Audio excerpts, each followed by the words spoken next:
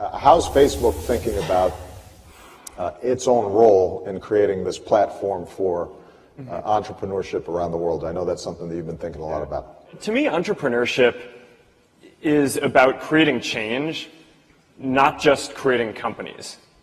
And you know, the, the most effective entrepreneurs that who, who I've met care deeply about some mission and some change that they're trying to create, and often they don't even start because they're trying to create a company, right? And you know, that's how, how I think about um, you know my connection to to all, all, of us here is you know, when I was getting started, I um, you know I wanted I cared deeply about giving everyone uh, a voice right, and giving people the tools to share everything that they cared about and uh, bringing a community together. And you know, it started small in, in one university, and I didn't think it was going to be a company at the time.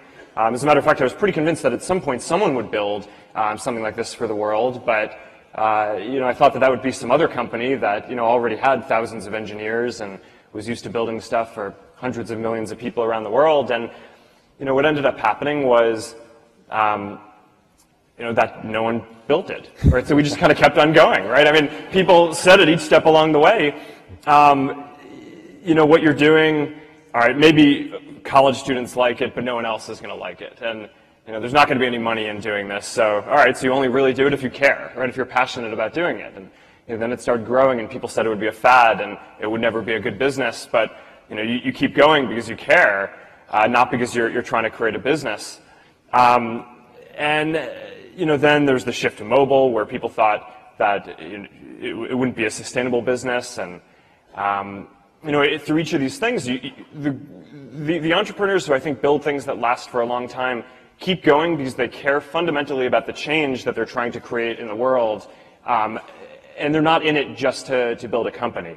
And, you know, I, I carry that with me today. You know, so, you know, today we have, you know, we live in a world with more than 7 billion people. Uh, but more than 4 billion uh, of us are not on the internet. And you know, we talk about having an equal opportunity to be able to create a change in the world, and you know, I think that's a really hard thing to do if, uh, if you don't have access to some of the basic infrastructure uh, and, and, technical tools that are necessary to, uh, to build this kind of, um, these kind of technical products. So, you know, I, I kind of think about what we're doing today um, very similarly to, to how I thought about where we were at the beginning. You know, it's, uh, you know, I get people all the time who come to me and say, all right, well, you're investing billions of dollars in trying to uh, put internet connectivity in, in, places where, you know, we don't get paid for it. Um, it's not something that, uh, will, that we'll make any money from for a very long period of time if it works out.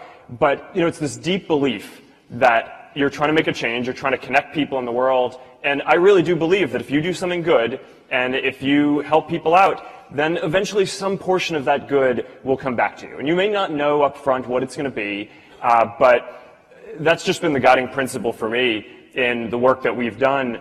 And I hope that some of the work that we do uh, can play a role in empowering you and so many more entrepreneurs to build uh, the next great companies. Excellent.